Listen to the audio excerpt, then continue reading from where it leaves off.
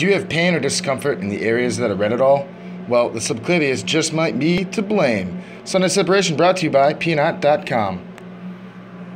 Hey folks, what's going on today? We're going to be talking about our subclavius for the Sunday separation. Sunday separating the subclavius from the collarbone and that first rib. So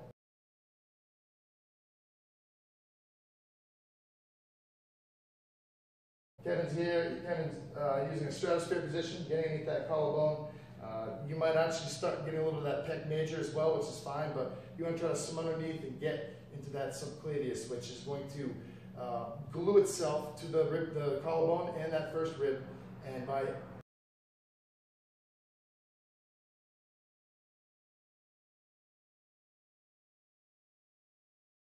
separating that tissue, you're going to free up the flow of the arteries and the veins and the nerves that run down the inside of the arm, down to the thumb, and the bicep here. So give us a shot. Thanks for watching. Make sure you plenty of water. Keep on peanutting. Be well. And remember the issues with the tissue. Thanks, Kevin. Welcome.